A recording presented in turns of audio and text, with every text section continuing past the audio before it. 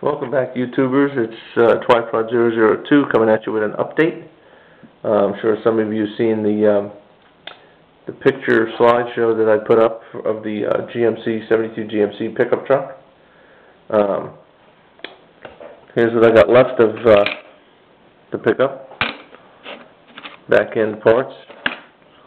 Um, some scrap left over here. Um, I'll show you what I came up with. As, as you've seen on the, uh, the pictures, I have added some stuff. I added the light bar, uh, out of three sixteen styrene square tubing. Uh, put lights up on the top. Uh, the lights are made from some chrome parts that I found in my chrome parts bin. And I painted them, uh, amber for emergency lights. The, uh, the spotlights are from my forty-nine Merc. Put them on there facing backwards. Used a, uh, fuel cell from a T-bucket. And, uh, used cable, thin, uh, cable for the, uh, the tow cable that goes on the truck. Also use black and white ca- uh, black and red cable for jumper cables. It sits back in there. Some tires, exhaust system parts. this is pretty much what I come up with. I was looking for, I've been looking for a uh, tow truck for my diorama for quite a while. And couldn't come up with anything, so I said, well, what the hell, I'll just build my own. Um, got some, put some decals on here, uh, twenty-four hour mechanic, Conoco garage, uh, Phillips sixty-six, batteries, repair, service, and tires. Up underneath here, I put a toolbox on both sides, exhaust coming out the side. The old location for the rear wheels was right up here. So I moved them all the way to the back. And, uh, you know, if you go back one, one video, you can, uh, see exactly how I built the framework to hold this stuff.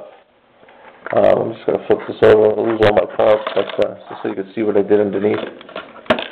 This is the old location here for the, uh, where the axle was.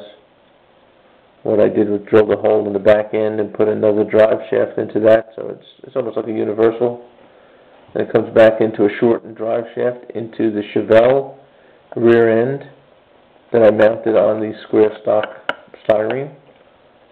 And I ran my, uh, axle through the styrene.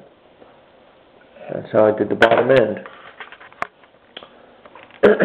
Get it back up on its wheels. And, uh, yeah, just to make it look like a work truck, I just, I threw some tires and some parts in there and, you know, it looks pretty nice. I knocked one of the lights off, damn it. There we go. Just have to, I'll have to fix that again. But, uh, I did notice I forgot to put brake lights on the back, so that's the only thing I have to do. On the sides there, I did, uh, bare metal foil. Um, painted the lighting rack, which I made out of the three sixteenth, uh, square stock styrene. That's pretty much, uh, what I came up with. My cars fit on there real nice, and, uh, that's what we got.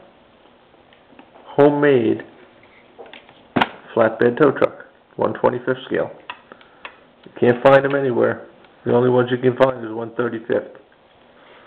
Alright, uh, enough of that, off to, uh, what my son is doing right now. We went to Michael's, uh, forty percent off today, uh, in the newspaper. We picked up a sixty-eight Corvette Roadster Revell. I picked this kid up for seventeen ninety-nine, got it for nine bucks. Not a bad deal. Uh, and when you go into Michael's, when you get your receipt, save your receipt, it's got fifty percent off on it. They do that every couple of weeks. But, uh, he's got his motor assembled over there, that little orange thing back there. Um, there's the body. He's gonna have, uh, gold valve cover gaskets, gold carburetors. Uh, he's building the, uh, the custom version, so. He's got two, two hoods he can use, he's probably gonna go with the scoop hood.